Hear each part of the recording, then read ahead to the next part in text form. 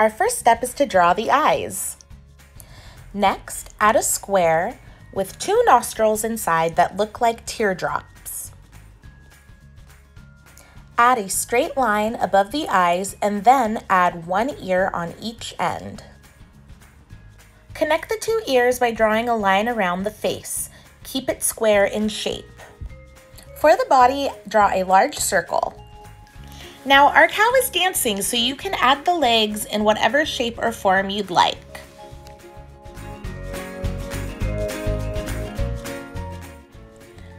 During this process, you can also add whatever details you'd like.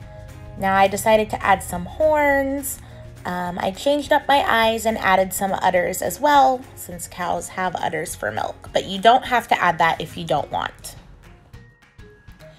Later on, I also add some spots to my cow. However, there are lots of different types of cows. There are brown cows, black cows, spotted cows. So if you'd like your cow to be a different color, you can totally make that choice. It does not have to look like mine.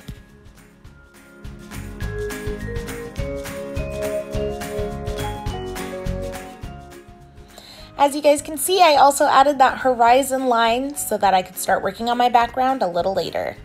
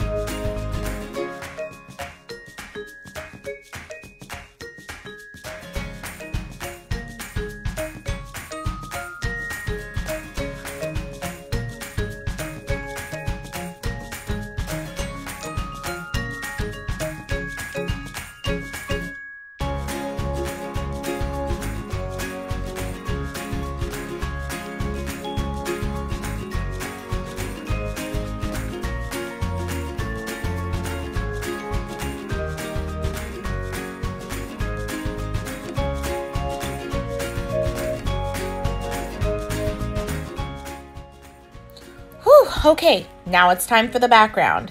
I just added some simple hills and a little sun, some clouds. Um, you could also add a barn in the background if you wanted. If you could add tiny little cows dancing in the background, whatever you'd like.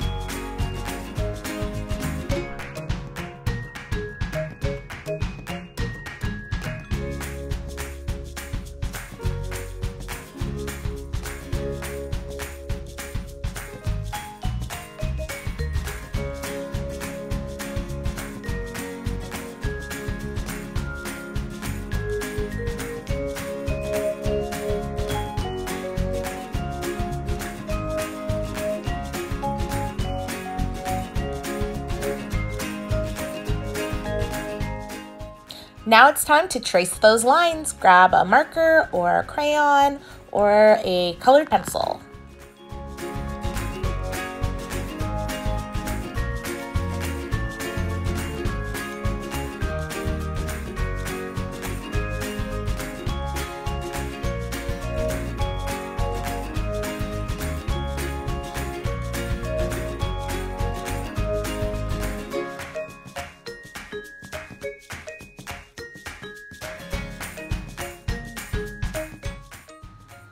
All right, and before we color it in, remember to erase all those pencil lines that we ended up not covering with our marker.